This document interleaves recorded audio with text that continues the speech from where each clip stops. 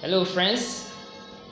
I warmly welcome you to the maiden edition of your Source of Power on Tuesday Morning Word with Daniel Okwan. I believe you are having a good time. I believe you are alive. Now, in today's episode, I want to share with you an important aspect which you shouldn't, I mean, forget as you move out I mean, and carry out your duties for today.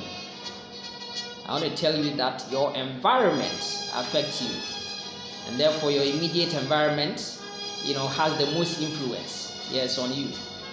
And therefore, I want to tell you that you should surround yourself with people who radiate positive energy.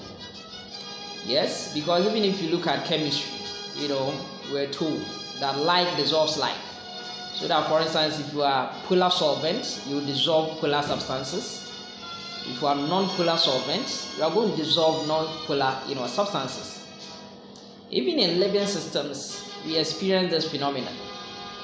For instance, I mean, if my temperature is higher or is greater than yours, and then we get closer, then what will happen is that heat will have to move, okay, from me to you until you know equilibrium is that kind of established.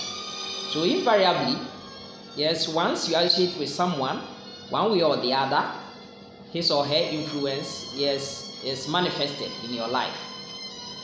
Again, yes, if you look at this bone, which you call the collarbone, the layperson will call the collarbone or the clavicle, it's actually a long bone.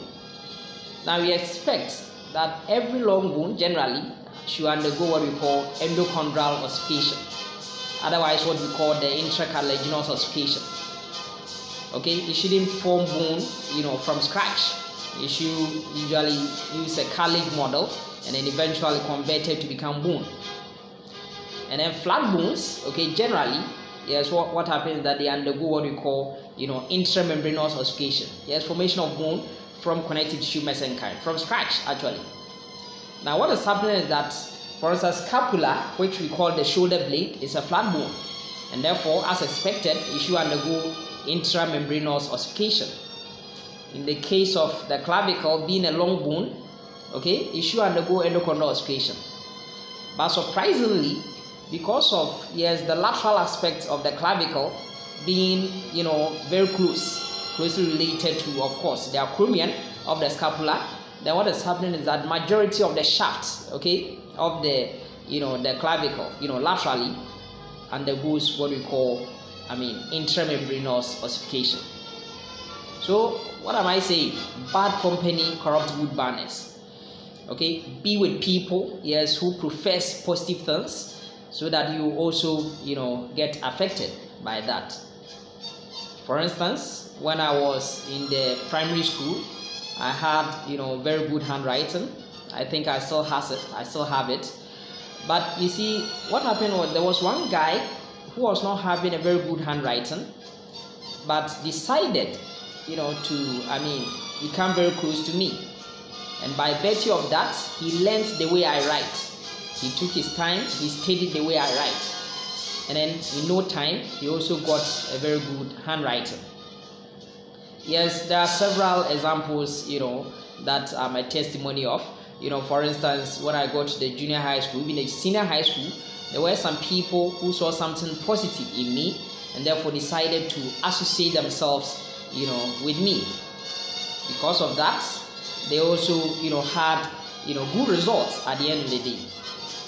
So it's very important that yes, all these things. What I'm saying is that one important thing, your emotion, okay, the emotions that you have, yes, it's an important pillar, okay, who is going to keep you.